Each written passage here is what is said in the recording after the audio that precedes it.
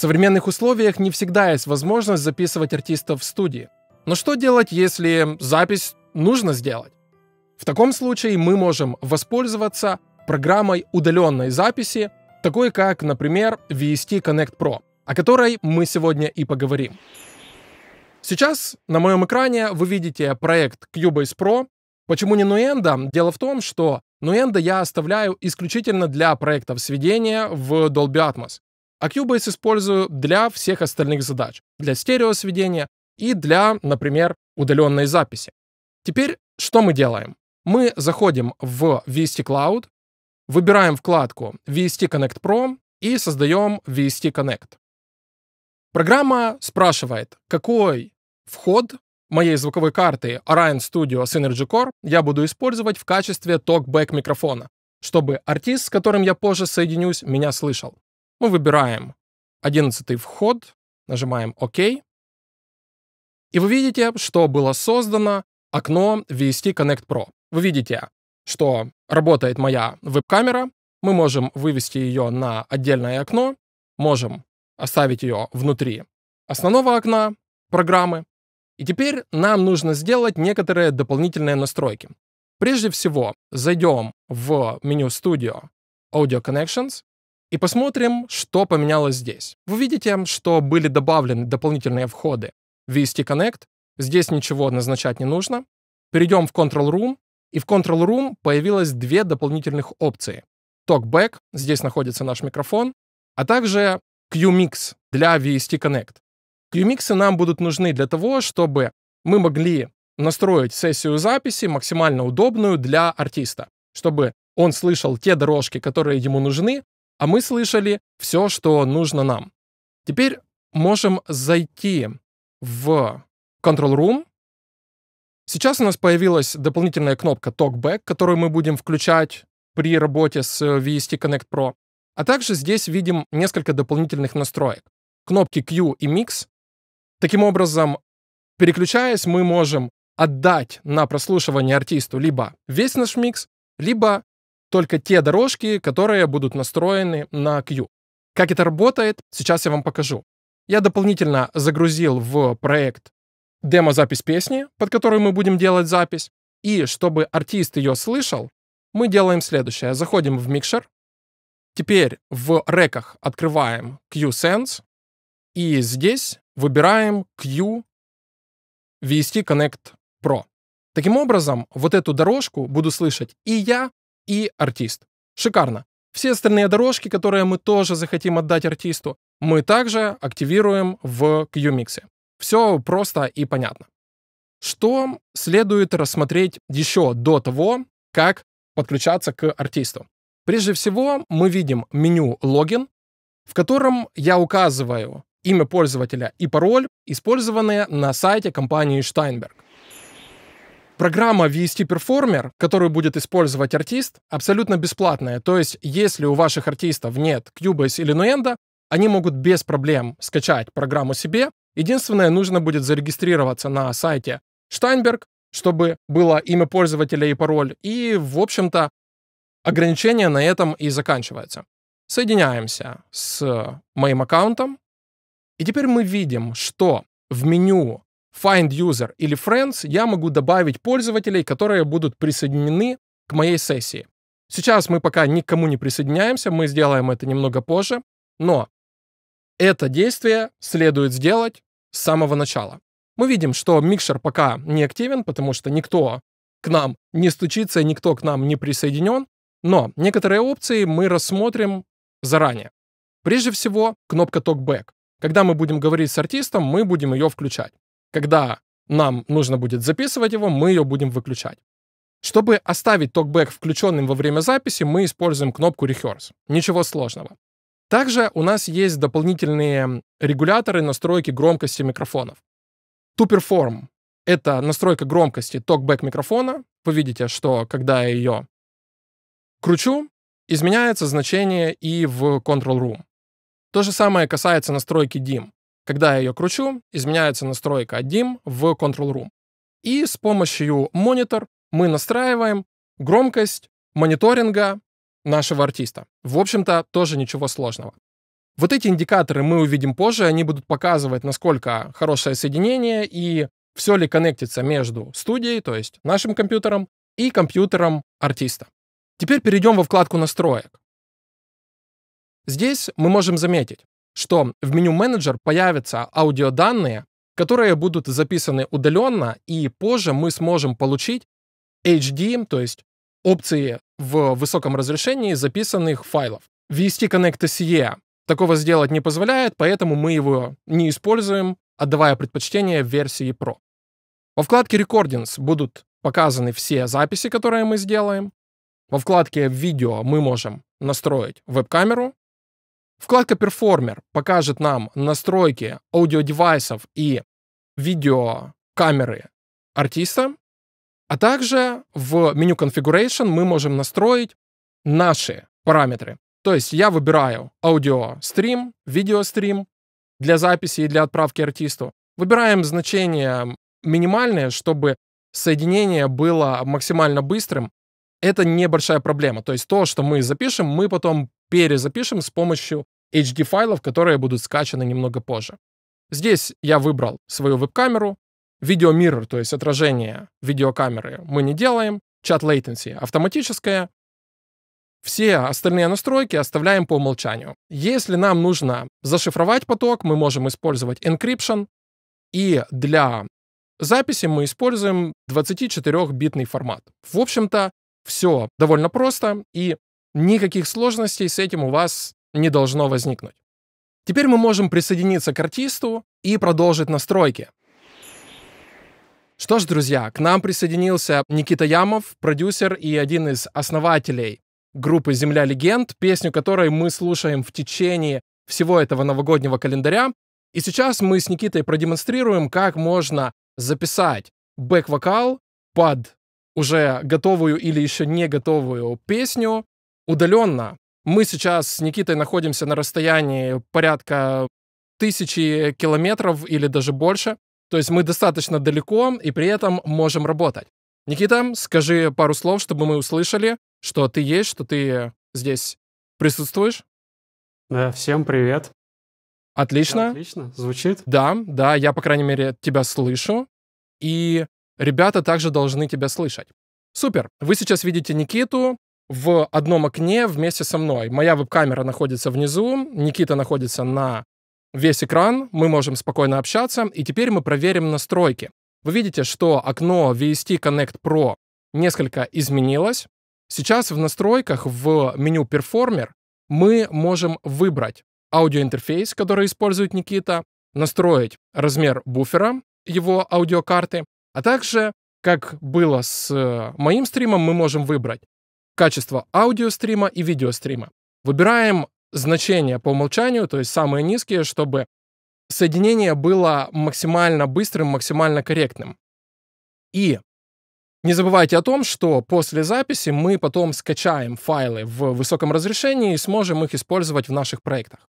Также вы видите, что в микшере теперь доступно несколько каналов, мы можем спокойно добавить их при необходимости. Одновременно в VST Connect Pro мы можем записывать до 16 каналов, насколько я помню, но сейчас нам будет достаточно одного. Сейчас вы видите, что Никита слышит меня, и я слышу его через канал мастер. Здесь я выбрал его стерео аут 1 и 2 на его звуковой карте, поэтому все работает.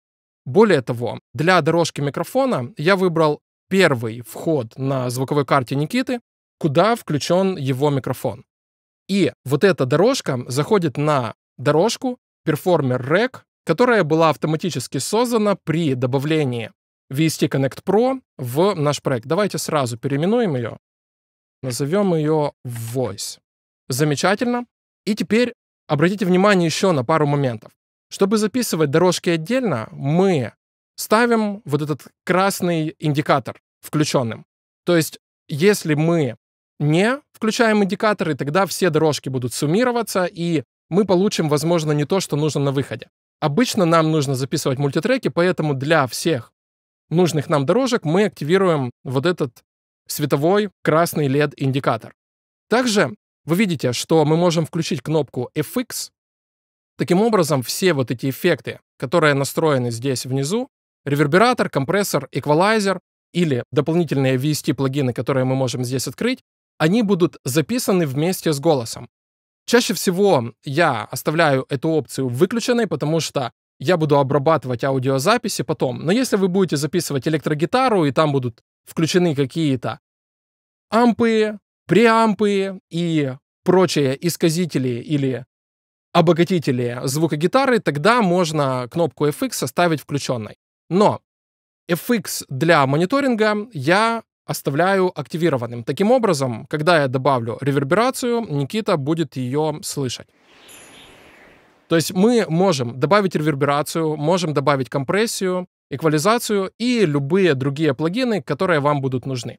Но для сегодняшней демонстрации я слишком не усложняю, потому что все материалы, которые я видел по VST Connect Pro, показывают то, что это какая-то неподъемная сила, с которой невозможно разобраться. А по факту просто логинюсь я, логинится Никита, я добавляю Никиту в проект на основной вот этой вкладке, где я могу найти пользователя, и если я его уже добавлял, он будет находиться в поле Friends, то есть в поле друзей, нажимаю двойной щелчок, присоединяюсь к Никите, Никита появляется вот в окне веб-камеры, улыбается мне, я улыбаюсь ему, и мы можем уже обсуждать наши творческие проекты.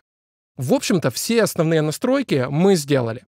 Единственный дополнительный регулятор, о котором стоит упомянуть, это регулятор уровня, с помощью которого я регулирую, насколько хорошо мы будем слышать Никиту на записи. Предварительно мы с Никитой уже немного настроили уровни QMix, чтобы он и слышал музыку хорошо, и слышал себя хорошо из канала, на который он будет записан. Мы также можем активировать метроном вот здесь, но сейчас нам это не нужно, поскольку Никита знает песню, которую он сочинял, которую он аранжировал более чем хорошо.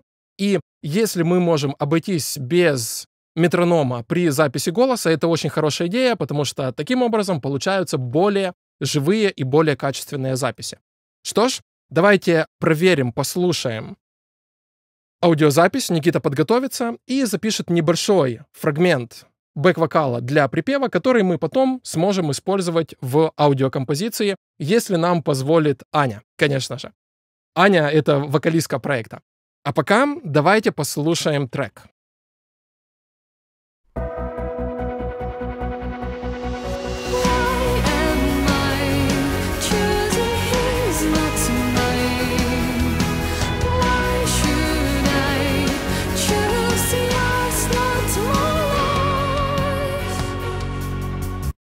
Что ж, я выключаю себя, и мы начинаем записывать.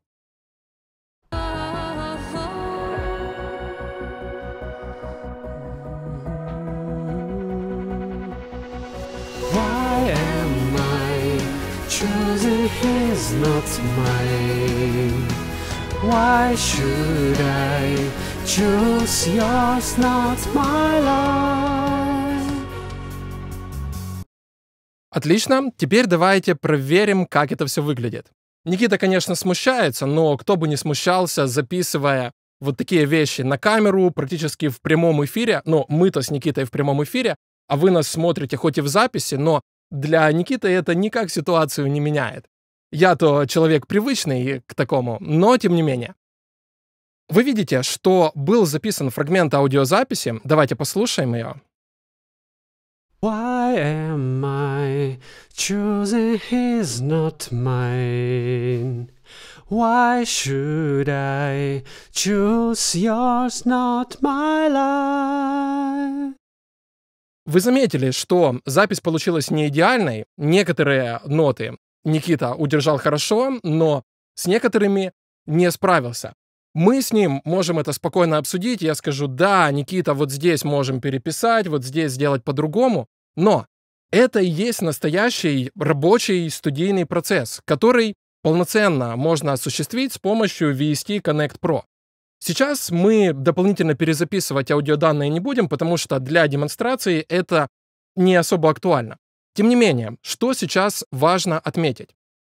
Запись мы получили, но эта запись не самого высокого качества. Чтобы сделать ее записью высокого качества, мы переходим в меню настроек, заходим во вкладку «Менеджер» и нажимаем на кнопку «Get HD Files». И таким образом я скачаю файлы, записанные Никитой, на свой компьютер, и они будут добавлены в наш проект. Нажимаем и ждем, пока загрузка будет завершена.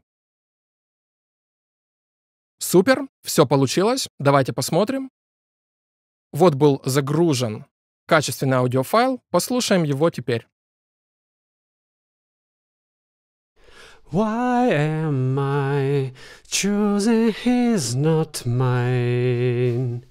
Why should I choose yours not my life?